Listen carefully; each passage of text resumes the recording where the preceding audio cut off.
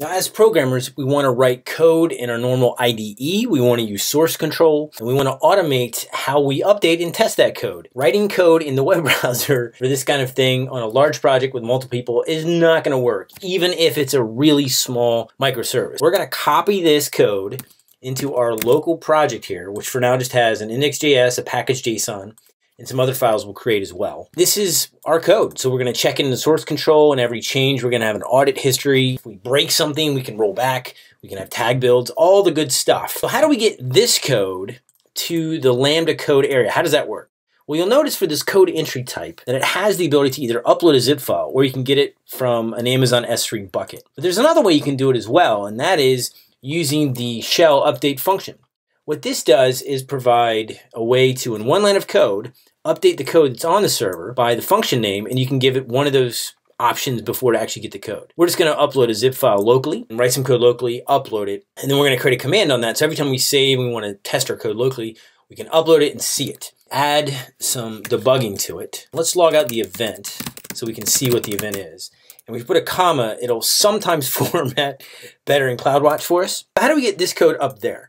We got to run that shell command. A shell file called update sh can create bat files or other shell commands if you're on newer versions of Windows to do the same thing. And the reason we're doing this in shell is just that it's really quick and easy to do. We're going to show you how to make everything JavaScript later. Infrastructure as code, but this is a nice way to ease into it. And if you're in a hurry, this is a great way to treat infrastructure as a pet. Constantly upload it, know that it's always running. Unlike a server, it's always there. So you don't have to worry about is the server running. You just know your code's uploaded to the server, ready to go. First thing we got to do is create a zip file. So we're going to do zip rx. And the zip file name we want to create, which is index zip, that's where our code is going to go. We don't have any libraries right now, so we're just going to add our one file, and that is our index.js. We want to test out that script, we can say sh update sh. And you'll see that it wrote something. We can go there and see that we now have an index zip. So that's our code in the zip file. The next thing we need to do is upload this code.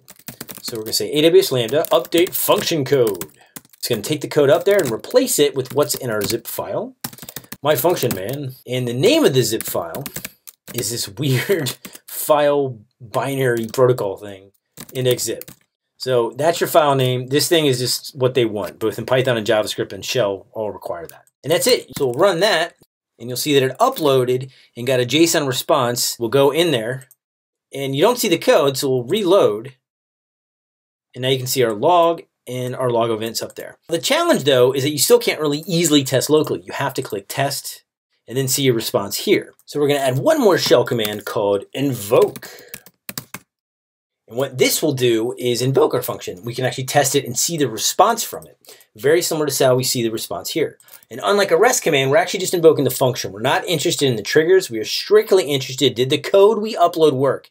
Take all the S3 and API gateways out of it. And from this, we'll do AWS Lambda invoke. And this is going to get kind of gnarly with a bunch of parameters. So we're going to use the slash to do multi-line for shell. My function, man. The payload is going to look nasty doing JSON and shell. So let's do the basic echo and the invocation type. Invocation type is request response. That means we are waiting for the response. Call the function, wait, and get a response from it and be able to read what it sends back. The region is US East 1, obviously, for me, to be different for you. Log type is tail, so we're going to puke out the log into an actual text file. And this is so if you want to review it later. And we'll just, for now, we'll just cat it out. We're not going to read anything with it. This is kind of throwaway.